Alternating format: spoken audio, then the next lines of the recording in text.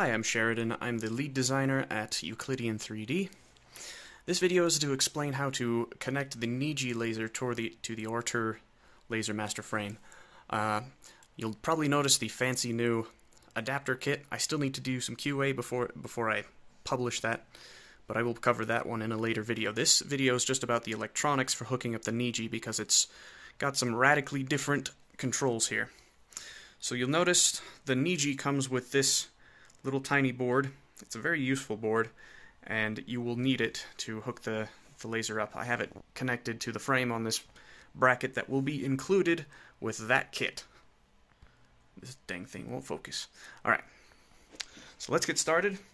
We'll start with our power supply. You will need some extra juice. This is an aftermarket 5 amp, 12 volt 5 amp power supply, and I put two power jacks on it. You can see I just uh, spliced the wire in here, wrapped it all nice with tape.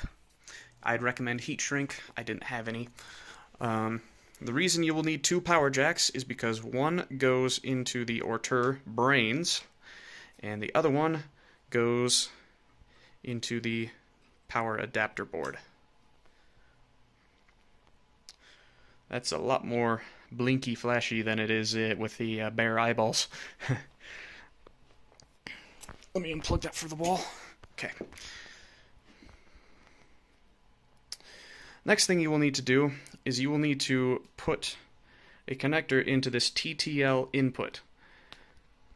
Uh, TTL stands for something to do with a transmission line, and that, but basically what that means is your Ortur is running the the uh, pulse width modulation for the laser. So it, it can take the laser output and use it to signal the pulse width modulation in this board. So the laser output on the Ortur brains is this third wire down from the top on the very top connector. So you can just take that out of the connector using a needle from the connection that it plugs into over there. You can see over here that the look at the back of the plug that the laser plugs into. You see 12 volt ground and PWM. That uh, PWM, you'll notice this connector is actually empty because we don't use it anymore because of the NEJE.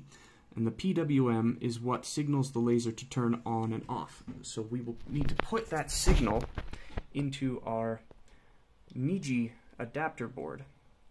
And so I've put that wire into a, an XH 2.54 female pin header connector. And it just plugs in like so. You don't have to connect the ground. You can if you want to, but you don't have to connect the ground because ground is already connected through the power cable. Make it a little less blurry. Okay. Uh, last thing is connecting the actual laser itself. I've used some standard Cat6 Ethernet cable to splice in some extra length on the wire that the NEJE came with. And it just plugs into